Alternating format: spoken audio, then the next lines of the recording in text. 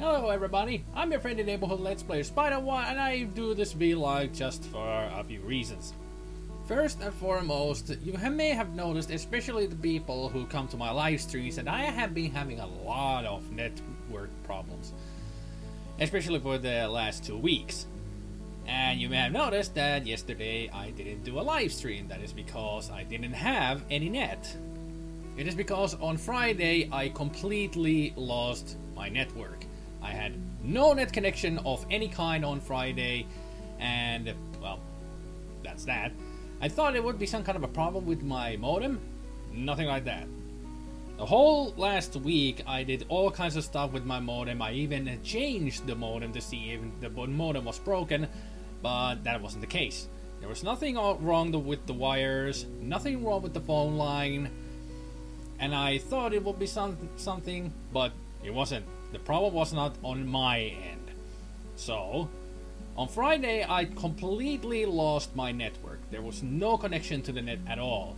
And I thought to myself, this is an old house. We still have a phone line going into the house. Maybe there's something wrong there. Then I took then I went outside and I took this picture that you're seeing right now.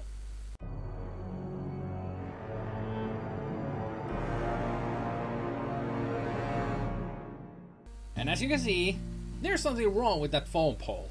And I thought, well, I'm going away for the weekend to my friend's place and we'll call on Monday to see if they can come and fix it. Well, we called them, they didn't know what what's going on because we really don't know what it is that's wrong with it and they didn't, well, pretty much they said they cannot help us because we actually called the uh, elec- the electric company. So I think we made the wrong choice of calling. But then I turn on my computer to just, you know, just to go to play some games. And the net works. It connected immediately. Nothing wrong with it. It's been working fine. No disconnections or anything. So, apparently, there's nothing wrong with the phone pole. It might be something else that is uh, wrong with it because that one piece is hanging off. But since the network works, there's no problems. No problems at all. So that's why there wasn't any live stream last night or no uploading, no videos uploaded during the weekend because I didn't have the net. But now it works.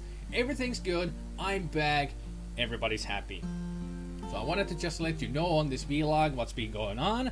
And today you will be enjoying more than just one or two videos uploaded, including this one. So, I'm back all the live streams will come back too, and hopefully everything will be just fine. So that was all I had to say.